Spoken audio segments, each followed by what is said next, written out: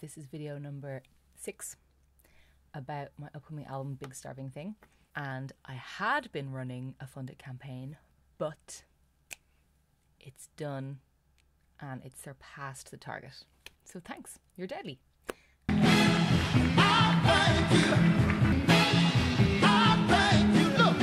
So I'll be keeping you all updated on when there'll be the pre-launch listening party and when I'll be posting it CDs, then the launch party.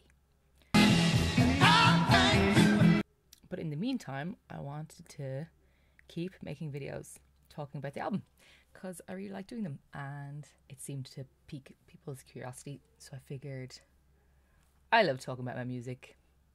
If you want to listen to me talk about my music, that's cool. So this video is about a song called Frida Kahlo's Delight. There's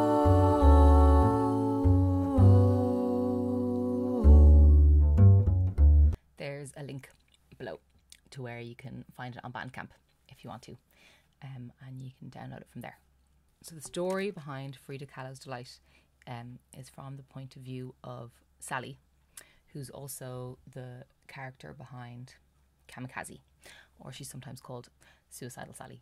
Um, she's sitting looking out her window and she sees um, a spinner go by. A spinner is a, a little piece of fishing tackle and she thinks it's kind of curious.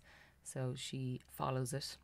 She goes out the door and sees it cross the road and then she sees it go down um, towards the seafront and then she sees it go past Martello Tower then she sees it go into the sea and she keeps following it and keeps following it until she's halfway to Howth and there's a mile of water over her head and then she notices there's two silver fish also chasing this spinner.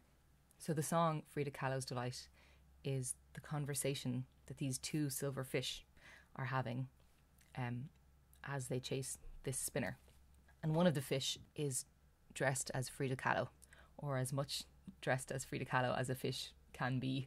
It's got um, wreaths of seaweed wrapped around its head, um, like the ribbons and flowers and things that she wears. This fish wants to catch the spinner because it wants to wear it like an earring to add to its Frida Kahlo look. And the other fish is trying to convince us that this is a really bad idea. So one of the silverfish says, It could decorate your life. The other says, It won't satisfy you. Oh, but I'll wear it like an earring. I'll be Frida Kahlo's delight. It's oh so fine. It's just a trinket on a line. So part of me is wary of kind of explaining this story or explaining the song too much because the it that the fish are chasing or the it that Sally is following is different to different people. I want people to see the thing in life that they chase um, in the song rather than me telling you what the spinner is or what the fish are talking about.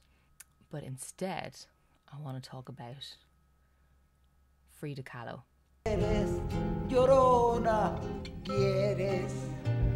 And why Frida Kahlo?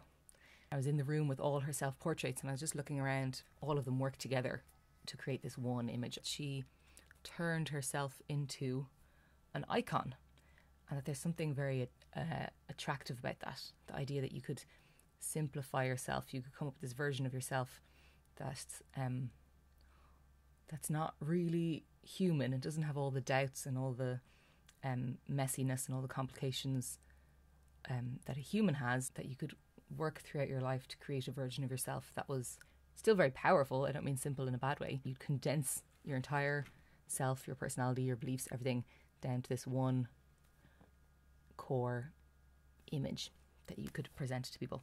But then there's also something kind of brutal about that. You lose so much of who you are. And it made me think about things like things like in politics or art or when you're trying to convey an idea, it's always very um, tempting to try and simplify. If you turn an idea into this icon, people can recognize it quicker. But on the one hand, that's great because you get to communicate in a much more powerful, direct way with people in this kind of visceral way. You show them this icon and they just get it. But on the other hand, you lose so much of the subtlety that's probably integral to the idea in the first place. Well, would it be fair to say that uh, you got rather tired of playing the same kind of roles all the time and, and wanted to try something different? Well, I, it's, it's not that I object to doing musicals or comedies. In fact, I rather enjoy it. But I would like to do also dramatic parts too. And of course, the fish doesn't know that the spinner is his demise. And even his friend, who's trying to convince him that it's a mistake, his friend doesn't know. He thinks the spinner is just trivial and it's silly to chase it.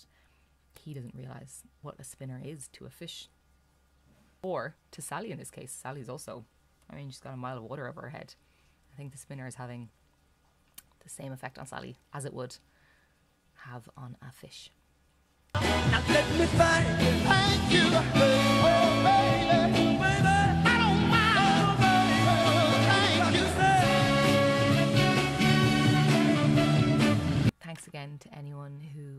Funded the mastering and printing of the album, or who spread the word on Facebook, or in the big bad real world, or who came to gigs, or who just watched the videos and enjoyed them.